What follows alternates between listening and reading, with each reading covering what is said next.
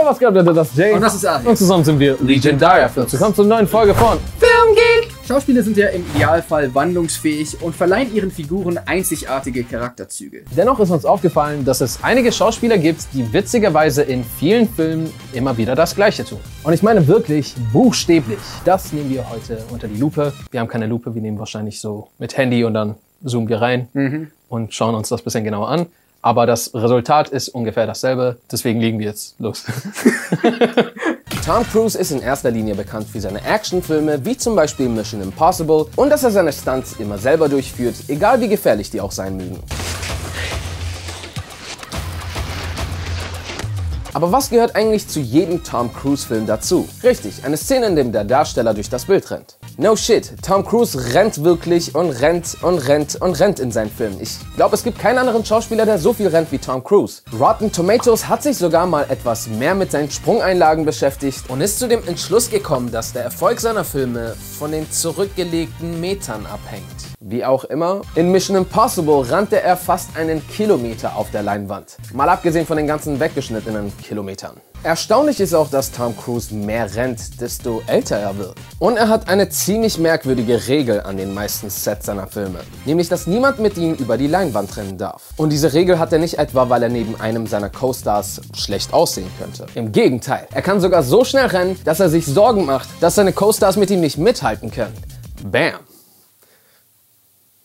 Scheint ein schneller Typ zu sein. Also Respekt an alle Darsteller, die bereits schon mal mit ihm über die Leinwand gelaufen sind.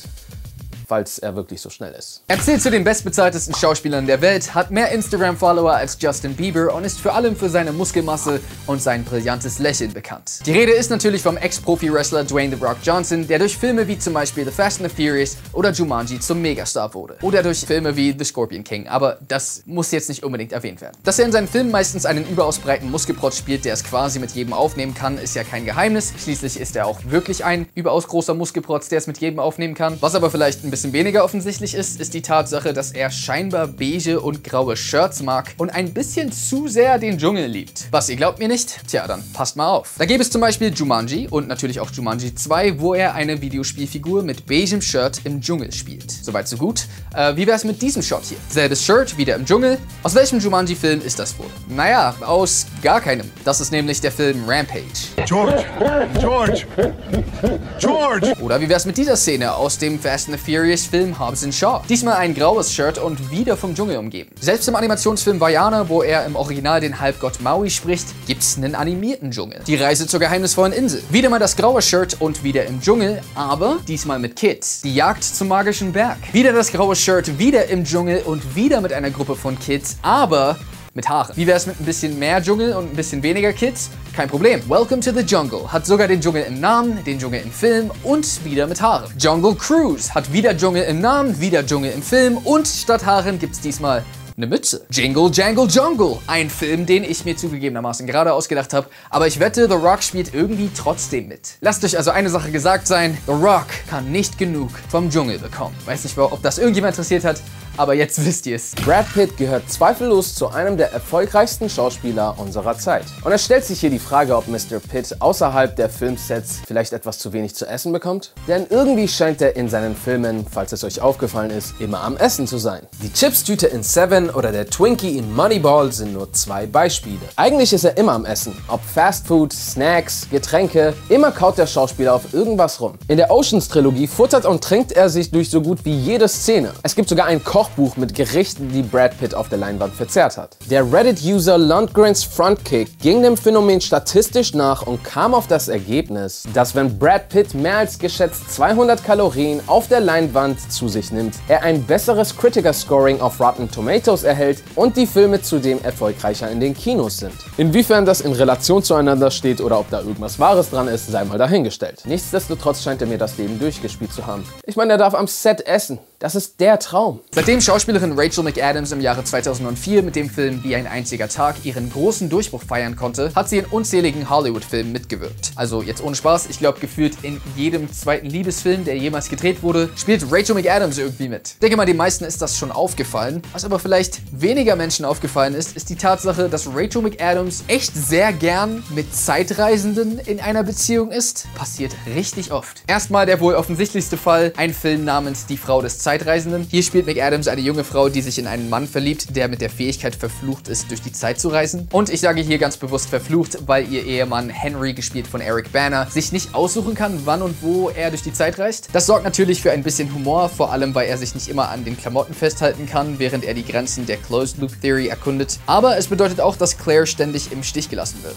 An ihrem Hochzeitstag, im Kreissaal. Nicht die coolste Situation, würde ich sagen. Dann gibt es den Film Midnight in Paris. Hier spielt McAdams Inez, die Verlobte des genialen Drehbuchautoren Jill, der von Owen Wilson gespielt wird. Auch dieser reist in der Zeit zurück, wo er mit Hilfe von Pablo Picasso, Ernest Hemingway oder Salvador Dali beweisen will, dass er imstande ist, literarisch höherstehendes zu verfassen als nur Drehbücher. Kleiner Sneak Diss an mich, aber ist okay. Und auch diesmal wird Rachel wieder von einem Zeitreisenden im Stich gelassen. In dem Film Alles eine Frage der Zeit verliebt sich Rachel McAdams wieder in einen Zeitreisenden, doch diesmal weiß sie von der Fähigkeit ihres Mannes nichts, was immer wieder zu Komplikationen führt. Meiner Meinung nach ist der Film extrem underrated, also falls ihr den noch nie gesehen habt, dann checkt ihn auf jeden Fall mal ab. In dem Film wird sie aber zum Glück weniger im Stich gelassen und es gibt hier quasi ein Happy End. Ich will es nicht genau spoilern, aber wie gesagt, checkt den ab, falls ihr noch nicht gesehen habt. Aber die Liste hört ja da nicht auf, denn Rachel McAdams spielt ja auch noch die romantische Nebenfigur in dem Film Doctor Strange. Diesmal von dem egoistischen Neurochirurgen Stephen Strange, der nach einem verheerenden Unfall mit mystischen Kräften ausgestattet wird. Zwar wird die romantische Beziehung in dem Film nicht ganz so stark thematisiert, aber wir bekommen die Figur auch in der animierten Marvel Spin-off-Serie What If zu sehen. In der Serie reist ein untröstlicher Doctor Strange in die Zeit zurück, um zu versuchen, sie vor einem Autounfall zu retten. Und auch hier wird sie in der Originalversion von Rachel McAdams gesprochen. I think you should just rush the podium like a contestant on The Price is Right. Price is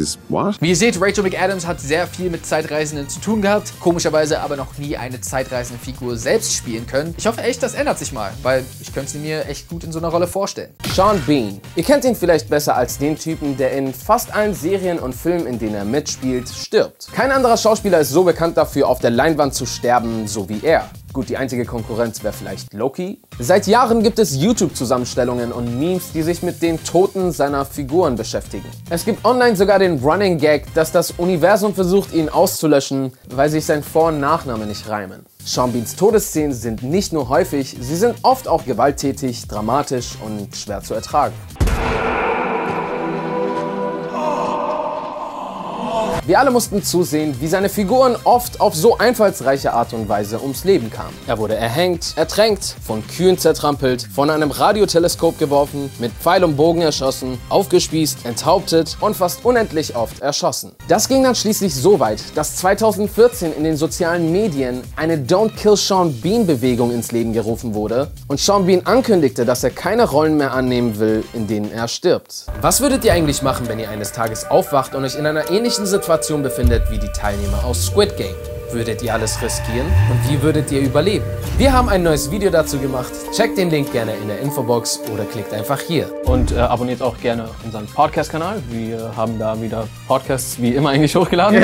Die sind, äh, glaube ich, ganz gut. Ansonsten würde ich jetzt sagen, how's your reason? Peace.